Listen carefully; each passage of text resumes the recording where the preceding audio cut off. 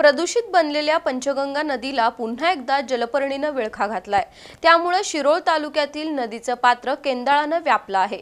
केंदाळाची जाडी इतकी मोठी आहे की पाणी दिसतच नाही.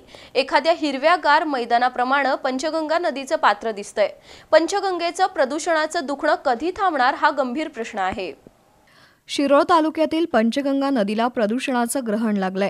तेरवाड बंधाऱ्यापासून ते कुरुंदवाड शिरढोण पुलापर्यंत संपूर्ण नदीला जलपर्णीचा विळखा बसलाय. दिवसेंदिवस पंचगंगा नदीची प्रदूषणाची समस्या गंभीर बनत चालली आहे प्रदूषणामुळे नदीचं पाणी काळं कुट्ट बनलं असून अनेक ठिकाणी प्रचंड दुर्गंधी सुटली आहे आजवर नदीतील हजारो मासे मृत्युमुखी पडलेत पण तरीही माणसाला जाग येत नाहीये. कोल्हापूर इचलकरंजी या शहरांसह औद्योगिक वसाहतीमधून येणाऱ्या दूषित पाण्यामुळं पंचगंगा नदी दिवसेंदिवस दूषित होतीये.